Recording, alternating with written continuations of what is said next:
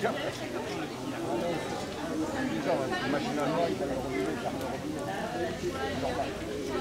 là, hier j'ai été tam, il y en a qui quand même quitté le prix.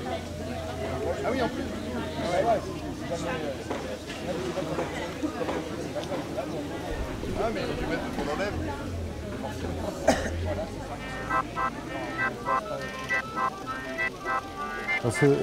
c'est la première fois que je suis invité euh, d'honneur, euh, donc très honoré, euh, dans un festival qui est quand même plus euh, connu pour euh, euh, son amour du cinéma en prise de vue réelle, euh, documentaire, fiction, etc., que pour le film d'animation.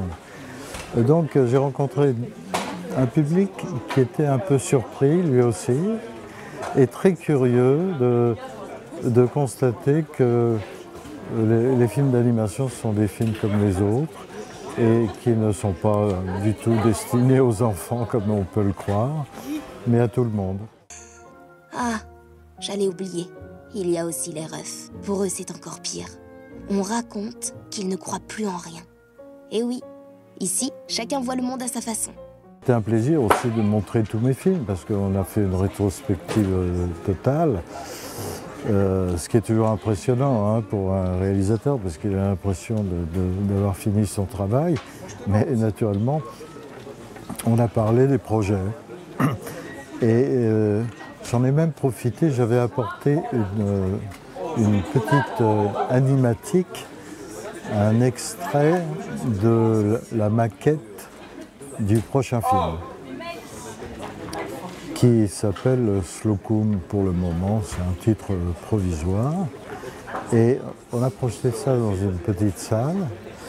Et naturellement, c'est un document euh, qui n'est pas très euh, euh, séduisant, hein, parce que c'est une maquette en noir et blanc, les dessins ne bougent pas, etc.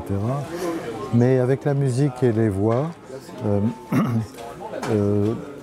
le spectateur a vraiment l'impression de, de, de- voir un film. Donc c'était, ils, ils étaient dans la confidence.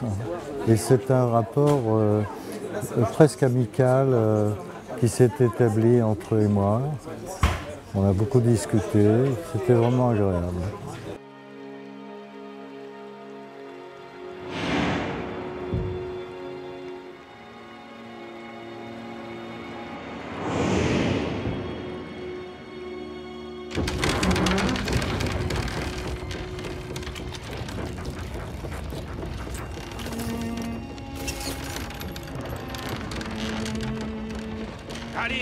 La maquette que j'ai présentée, j'appelle ça euh, une animatique sauvage.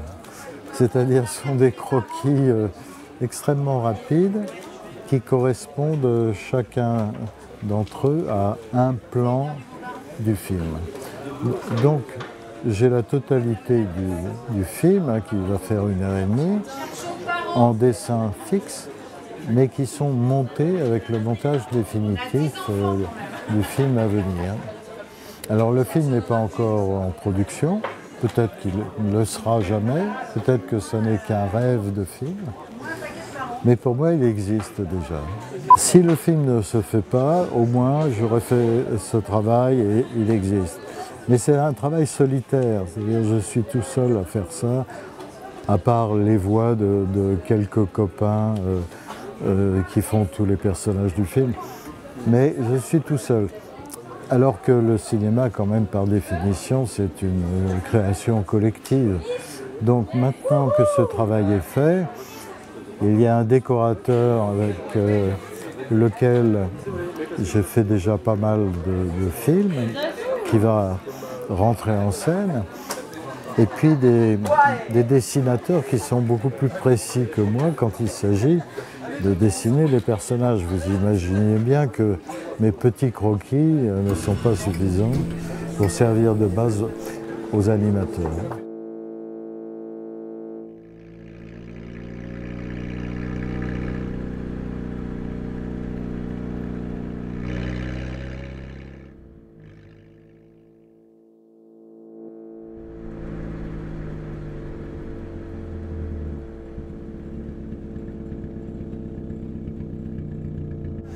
Alors si le financement est bouclé, on commence la réalisation proprement dite et là on va travailler selon les cas avec une vingtaine de personnes ou avec euh, davantage. hein. Ça peut aller jusqu'à une centaine de personnes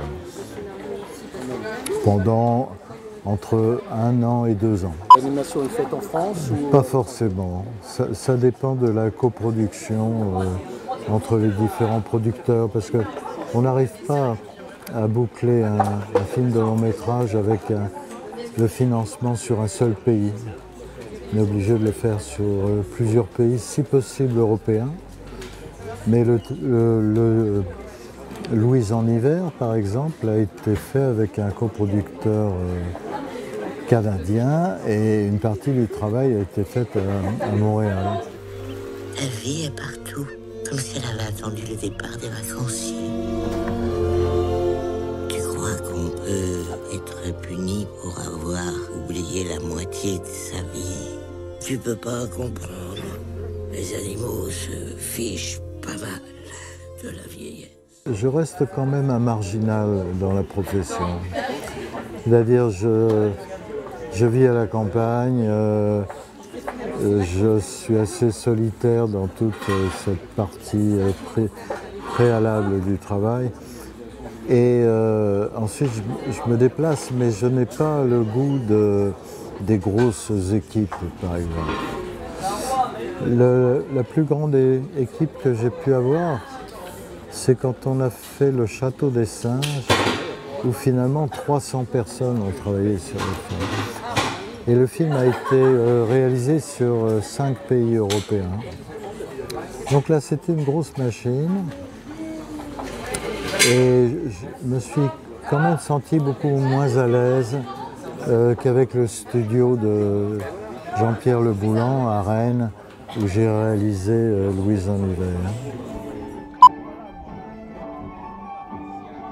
Exactement, je me suis senti ici très à l'aise et très en confiance, avec des gens qui ne se cassent pas la tête trop de savoir euh, avec quelle technique euh, euh, j'ai pu travailler comme dans un grand festival comme le festival d'Annecy par exemple.